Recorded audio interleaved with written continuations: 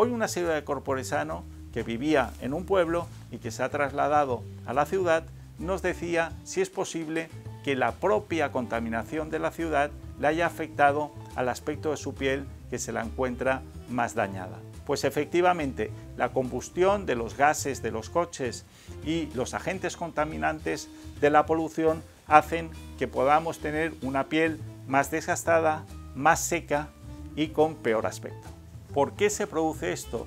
Pues porque se produce un estrés oxidativo en la piel que eso hace que haya una disminución del colágeno, de la producción de elastina, de ácido hialurónico, que son los responsables de tener una piel más firme, más densa y más acuosa.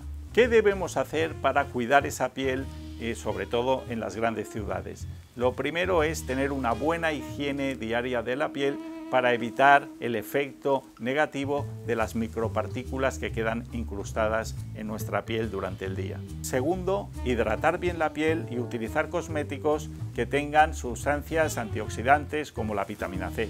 Tercero, cuidar la alimentación, intentando también ingerir algún producto que tenga eh, pues poder antioxidante como puede ser el tomate, la alcachofa, el té verde o el brócoli. Y cuarto, acudir a un especialista para poder realizar algunos tratamientos coadyuvantes que ayuden a mejorar la piel, como pueden ser los peelings químicos.